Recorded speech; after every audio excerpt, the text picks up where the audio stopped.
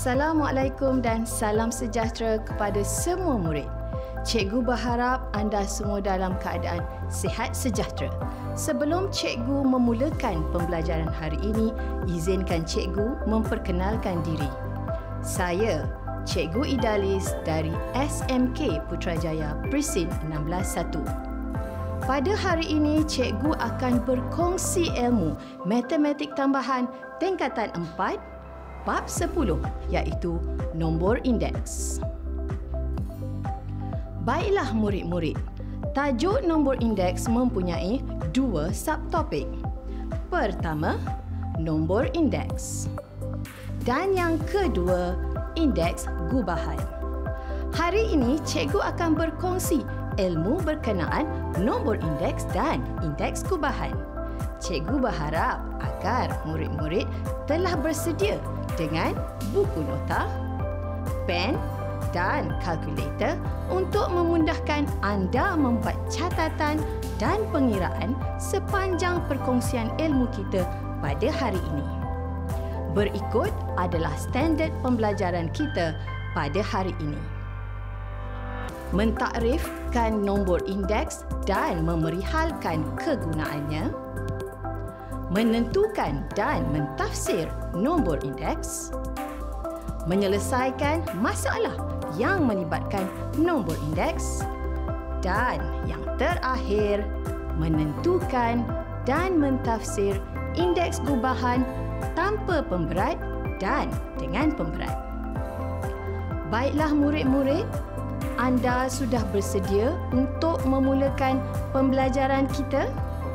Jika anda sudah bersedia, ayo kita lihat di paparan kita mulakan pembelajaran kita dengan memperkenalkan kata kunci bagi nombor indeks. Kata kunci yang pertama adalah nombor indeks. Kedua adalah indeks harga. Ketiga, kuantiti pada masa asas. Keempat, kuantiti pada masa tertentu. Kelima, indeks gubahan. Dan yang terakhir iaitu yang keenam, pemberat. Sebelum kita meneruskan pembelajaran hari ini, marilah kita melihat tafsiran nombor indeks dahulu serta bagaimana ia diaplikasikan dalam kehidupan kita seharian. Nombor indeks ialah suatu sukatan yang digunakan untuk menunjukkan perubahan suatu kuantiti atau harga terhadap masa. Seterusnya, cikgu akan memberikan beberapa contoh bagaimana nombor indeks diaplikasikan dalam kehidupan seharian kita. Pertama, kenaikan gaji. Kedua, harga rumah. Dan yang terakhir, kenaikan atau penurunan pengeluaran sesuatu produk dalam sebuah kilang. Baiklah, tanpa membuang masa, ayo kita mulakan sekarang. Nombor indeks boleh ditentukan dengan menggunakan formula yang membandingkan antara dua tahun. Mari kita lihat formula bagi menghitung nombor indeks seperti di paparan. Nombor indeks adalah sama dengan harga atau kuantiti pada masa tertentu dibahagi dengan harga atau kuantiti pada masa asas dan didarabkan dengan 100. Atau secara ringkasnya, Q1 dibahagi Q sifar dan didarab 100. Sekiranya nombor indeks lebih besar daripada 100 diperolehi, berlaku peningkatan berbanding tahun asas. Manakala jika nombor indeks lebih kecil daripada 100 berlaku penurunan berbanding tahun asas. Maka jika I sama dengan 100, tiada berlaku peningkatan atau penurunan berbanding tahun asas. Untuk lebih jelas tentang penggunaan rumus nombor indeks ini, mari kita lihat beberapa contoh. Anda sudah bersedia? Jom. Bilangan murid tingkatan 5 di sebuah sekolah pada tahun 2018 ialah 196 orang berbanding dengan 230 orang pada tahun 2015. Hitung nombor indeks bilangan murid pada tahun 2018 berasaskan tahun 2015. Tafsirkan nombor indeks yang diperolehi. Daripada soalan yang cikgu bacakan tadi, jelas menyatakan kita perlu menghitung nombor indeks bilangan murid pada tahun 2018 berasaskan tahun 2015 dan seterusnya mentafsir nombor indeks yang diperolehi. Jadi, kita akan menggunakan rumus nombor indeks. Sama dengan Q1 dibahagi Q sifar dan didarab 100.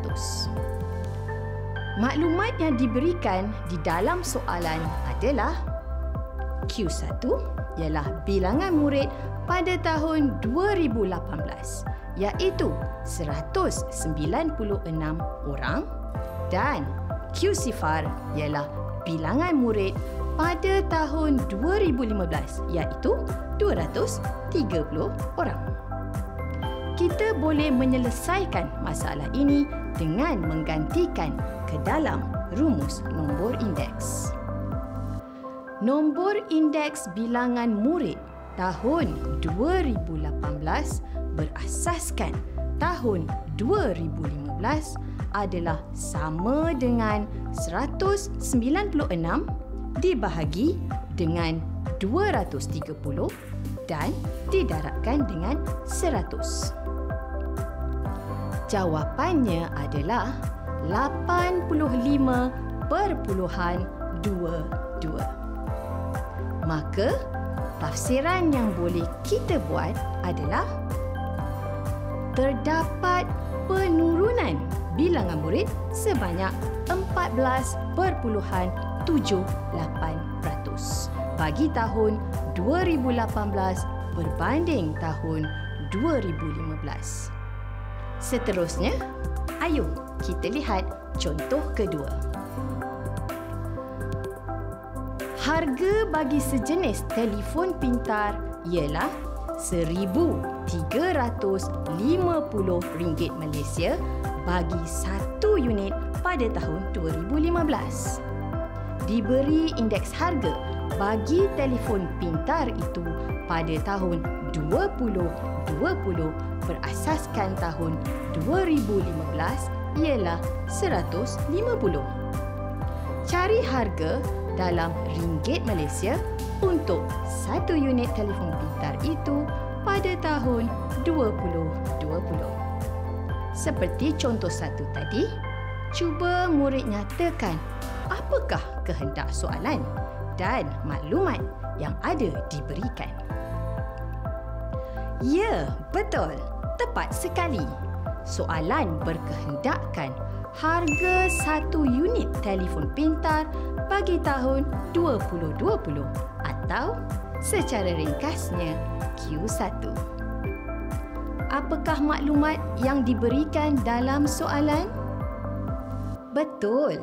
Maklumat yang diberikan adalah nombor indeks atau indeks harga telefon pintar pada tahun 2020 berasaskan tahun 2015 iaitu 150 dan harga bagi telefon pintar pada tahun 2015 atau QSIFA iaitu RM1,350 Malaysia. Dengan maklumat yang ada, Q1 dapat dicari menggunakan rumus nombor indeks. Pastikan maklumat digantikan dengan betul ke dalam rumus tersebut. 150 sama dengan Q1 dibahagi 1350 dan didarab 100. Maka Q1 atau harga telefon pintar pada tahun 2020 adalah RM2,025 Malaysia. Cikgu pasti murid-murid sudah mula mahir dalam menyelesaikan masalah melibatkan nombor indeks. Apa kata murid-murid cuba dengan latihan pertama? Sila lihat di paparan. Jumlah pengeluaran padi di Malaysia pada tahun 2013 dan 2019 masing-masingnya ialah 531 juta 440,725 tan metrik dan 620 juta 481,325 tan metrik. Carikan indeks pengeluaran padi di Malaysia bagi tahun 2019 berasaskan 2013 dan tafsirkan nilai yang diperolehi. Anda diberi satu minit untuk menyelesaikan soalan ini.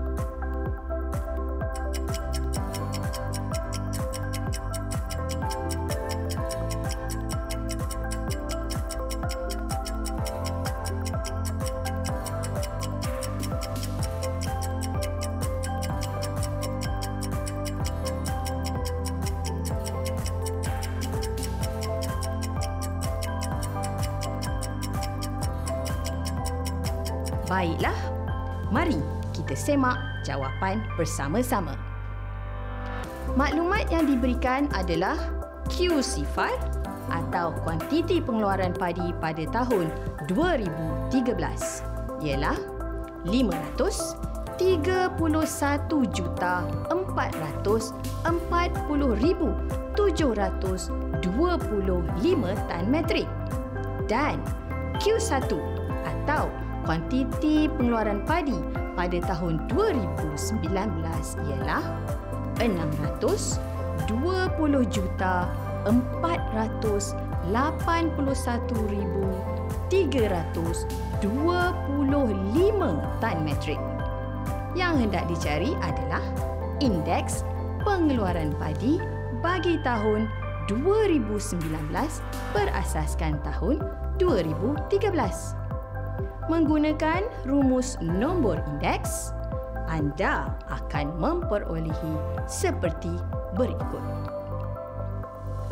Maka, indeks pengeluaran padi bagi tahun 2019 berasaskan tahun 2013 ialah 116.8. Bagaimana pula ya? Dengan tafsiran yang dapat dibuat berdasarkan nilai indeks pengeluaran yang diperolehi tadi? Ya, betul. Daripada nilai itu, kita dapat membuat tafsiran bahawa terdapat peningkatan pengeluaran padi sebanyak 16.8% pada tahun 2019 berbanding 2013 cikgu ucapkan tahniah kepada murid yang berjaya menjawab. Bagi yang belum berjaya, cuba lagi. Seterusnya, kita mempelajari subtopik indeks gubahan. Sebelum itu, cikgu terangkan apakah maksud indeks gubahan. Indeks gubahan adalah nilai purata indeks harga iaitu gabungan beberapa indeks sebagai ukuran statistik yang melibatkan kepentingan setiap item. Kepentingan ini dikenali sebagai pemberat yang mempunyai simbol W. Nilai pemberat ini boleh diwakili oleh pelbagai nilai. Sebagai contoh, nisbah, beratusan, bacaan pada carta palang atau carta pai. Cikgu harap dengan penerangan itu, murid-murid memahami apakah yang dimaksudkan dengan indeks gubahan. Ayuh kita teruskan dengan mengenal rumus indeks gubahan. Seperti cikgu terangkan tadi, indeks gubahan adalah nilai purata beberapa indeks harga yang melibatkan kepentingan setiap item. Maka, indeks gubahan boleh dihitung dengan menggunakan rumus seperti di paparan. Indeks gubahan sama dengan jumlah hasil darab nombor indeks dengan pemberat masing-masing dibahagi dengan jumlah pemberat. Cikgu ingatkan sekali lagi, I mewakili indeks harga dan W mewakili pemberat bagi indeks harga berkenaan. Rumus ini boleh diringkaskan seperti berikut. Baiklah, ayo kita lihat contoh melibatkan indeks gubahan. Jadual menunjukkan indeks harga bagi empat jenis minuman dalam botol pada tahun 2018 berasaskan 2010. Cari indeks gubahan bagi tahun 2018 menggunakan tahun 2010 sebagai tahun asasnya dan tafsirkan nilai yang diperolehi. Seperti contoh-contoh sebelum ini, kita perlu tentukan kehendak soalan dan maklumat yang diberikan. Daripada soalan ini, kita perlu mencari indeks kubahan bagi tahun 2018 berasaskan tahun 2010. Sementara maklumat yang diberikan adalah indeks harga bagi empat jenis minuman botol R, S, T dan U. Jadi, dengan menggunakan rumus indeks gubahan, kita dapat menyelesaikan soalan ini. Indeks gubahan minuman botol bagi tahun 2018 berasaskan tahun 2010 adalah sama dengan jumlah hasil darab indeks harga dengan pemberat masing-masing dibahagi dengan jumlah pemberat. Oleh kerana di dalam soalan tidak menyatakan pemberat bagi setiap minuman botol itu, maka kita anggapkan pemberat bagi setiap jenis minuman adalah sama. Oleh itu, pemberat bagi setiap minuman ialah satu. Maka, kita akan dapat nilai 396 dibahagikan dengan 4. Dan jawapannya adalah bersamaan 99. Bagaimana pula tafsiran yang boleh kita buat berdasarkan nilai indeks gubahan yang diperolehi? Ya, tafsirannya adalah terdapat penurunan sebanyak 1% bagi harga minuman botol pada tahun 2018 berbanding tahun 2010. Baiklah, kita beralih ke contoh seterusnya sila lihat di paparan. Jadual menunjukkan indeks harga dan peratus penggunaan bagi empat jenis bahan iaitu tepung, gula, koko dan mentega yang merupakan empat jenis bahan asas bagi pengeluaran sejenis kek hitung indeks gubahan bagi penghasilan kek itu bagi tahun 2020 berasaskan tahun 2015. jika kita melihat kepada jadual yang diberikan bersama-sama contoh empat itu, indeks harga bagi tepung, gula, koko dan mentega adalah 75.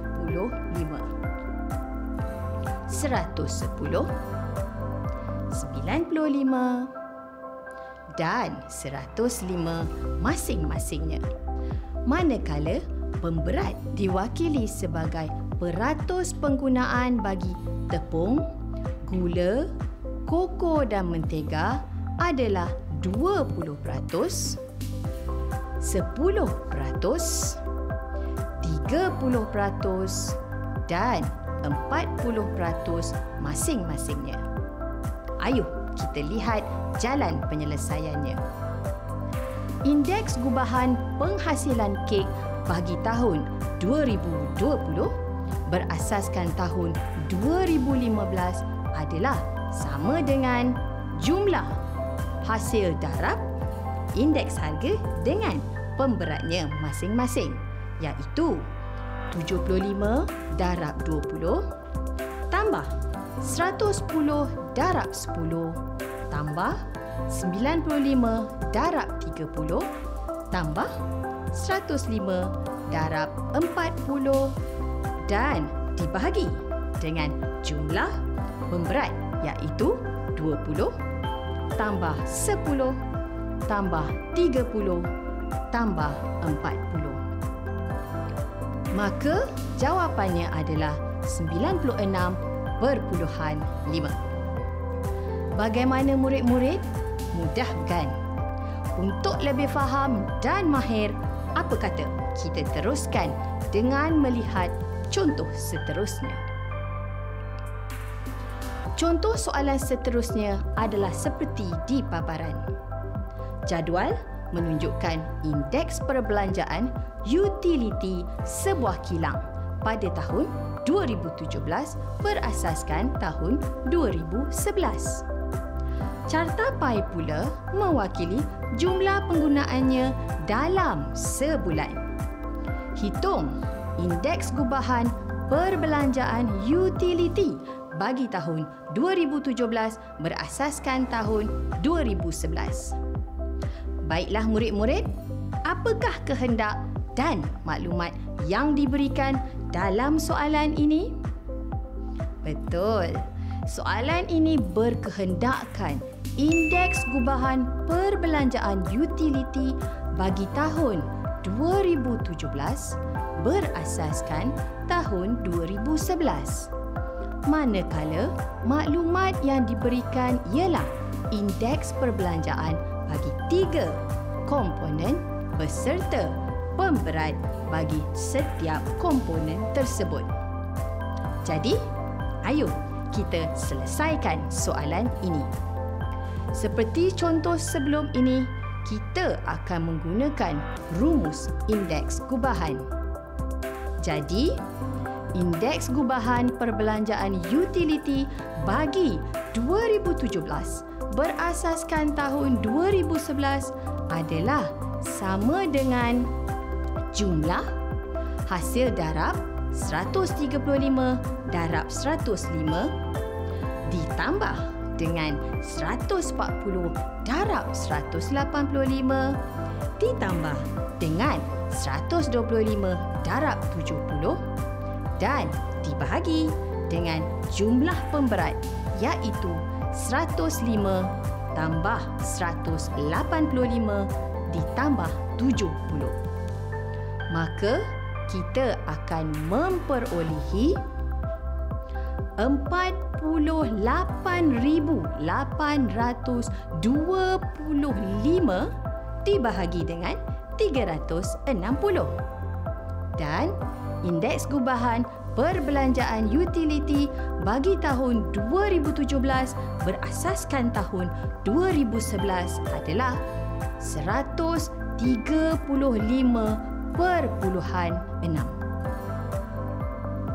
Bagaimana murid-murid?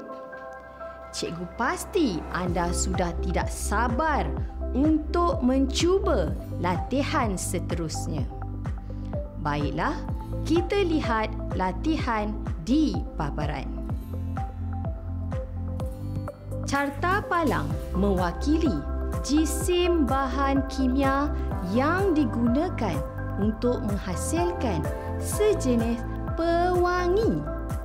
Diberi indeks harga bagi bahan kimia A, B, C dan D pada tahun 2020 berasaskan tahun 2015 ialah 120, 75, 98 dan 105.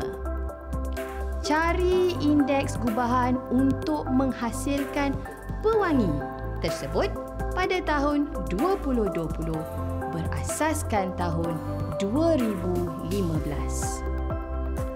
Baiklah, cikgu berikan satu minit untuk murid-murid mencuba. Bersedia? Satu, dua, mula.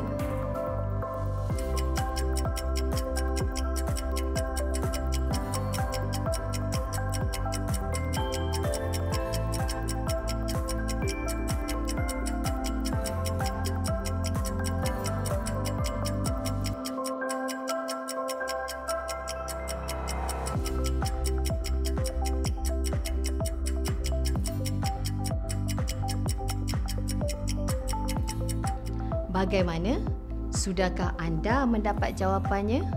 Jom kita semak. Soalan berkehendakkan indeks gubahan pewangi bagi tahun 2020 berasaskan tahun 2015. Jadi, rumus indeks gubahan yang akan digunakan. Seterusnya, kita akan menggantikan nilai ke dalam rumus indeks gubahan. Dan kita akan memperolehi nilai 10,285 per 100 atau bersamaan dengan 102.9. Maka, indeks gubahan pewangi bagi tahun 2020 berasaskan tahun 2015 ialah 102.9. Cikgu ucapkan tahniah bagi yang berjaya menjawab dengan betul. Bagi yang belum berjaya, jangan putus asa. Cuba lagi sehingga berjaya. Sekian saja sesi pembelajaran kita pada hari ini syabas dan tahniah murid-murid. Cikgu harap agar murid-murid dapat menguasai objektif pembelajaran kita pada hari ini. Akhir kata, selamat maju jaya, jangan putus asa dan teruskan membuat latihan. Cikgu doakan semoga semua murid menjadi murid yang cemerlang. Terima kasih dan Assalamualaikum.